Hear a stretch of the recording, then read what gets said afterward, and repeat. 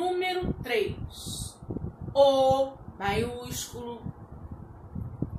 Ba, U com acento. É com acento também. Da, ba, ba com acento. Ponto final. Número 4. Letra maiúscula, nome de pessoa. Bia, V, O, Bode. Ponto final. Número 5 e última. O, Cabo, É, com acento, do, cabide. Ponto final.